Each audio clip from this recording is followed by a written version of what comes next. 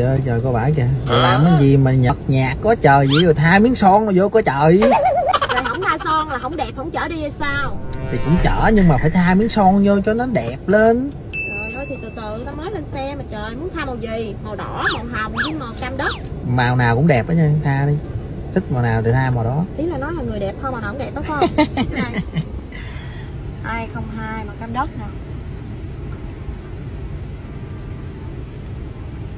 đó, mọi người ơi, cái son của em á, khi mà thoa lên á, nó bám màu môi nha, nhưng mà nó không nặng môi và mọi người càng thoa, mọi người sẽ yên tâm là vì nó không có bị bong tróc da môi nha mọi người. Nó không gây khô môi mà nó bám màu cực kỳ. Ai đã từng xài những cái loại son kem mà mắt tiền á, mọi người xài của em, mọi người thấy đúng là chân ái. Nhưng mà chân ái này là vì sao? Vì mình không cần bỏ ra hai trăm mấy chục ngàn mình mua một cây, mà bây giờ mình bỏ ra chưa tới 90 ngàn mình mua một cái set son này á, là ba cây 269 ngàn. Tính ra một cây chưa tới 90 ngàn mình mua về cam đất hồng nước và màu đỏ rượu. Mình phù hợp đi chơi, đi tiệc, đi đâu mình cũng thoa được một trong ba màu cây. Nó to, xài lâu, tặng kèm một tiếp tẩy tế bào chết môi nữa. Sướng không mọi người?